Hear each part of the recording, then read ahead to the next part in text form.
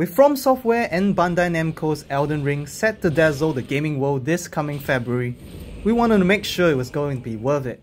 So we jumped into early access for the upcoming closed network test for Elden Ring and started our journey as a Tarnish.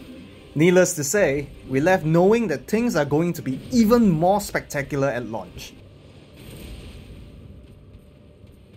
From the moment you kickstart the test, choosing your classes, and taking your first steps into the lands between, this is vintage From software at its finest. But that formula has also evolved from what fans know and love. The world in Elden Ring is massive, with more verticality added for even more fun. There are crafting materials to harvest, secrets to find, and more enemies for you to test your mettle against. The expanded scale is not just refreshing from the traditional design point of view, but also allows the developers to include certain events that can play out for shock and awe. Enter Flying Dragon Agheel, with its red hot fire and large wingspan ready to deal the fatal blow. This epicness is never gonna get old, especially when combat comes into play in Elden Ring. The game maintains certain aspects that are mainstays for Souls-like, such as the dodge rolling, as well as the stamina system.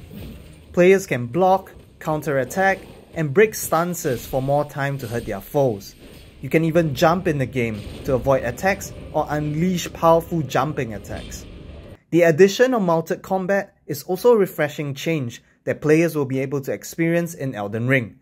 With the Spirit Steed, large distances become more manageable, and in combat, especially with foes as large as a dragon, you can be darting in and out for surgical strikes, and hightailing out of danger when the fire comes.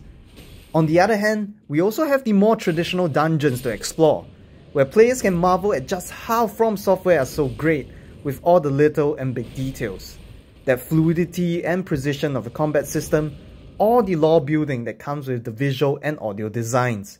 It comes to a point where every death is one to savor, as you begin to learn more about what you can and cannot do in Elden Ring. Add to that already intoxicating blend even more monumental encounters with intricately designed bosses and enemies, and Elden Ring represents a non-stop rollercoaster ride designed to delight and horrify at the same time. Our battle against Margit the Fell Omen saw countless deaths, but victory brought a sense of satisfaction unlike any other gaming feat you can achieve. Considering that many other such encounters lie in wait for the full version of Elden Ring, it is absolutely amazing to know that the sense of satisfaction and desire to improve in a player will never be more keenly felt. It is clear as day that Elden Ring represents an evolution for both From Software and Hidetaka Miyazaki.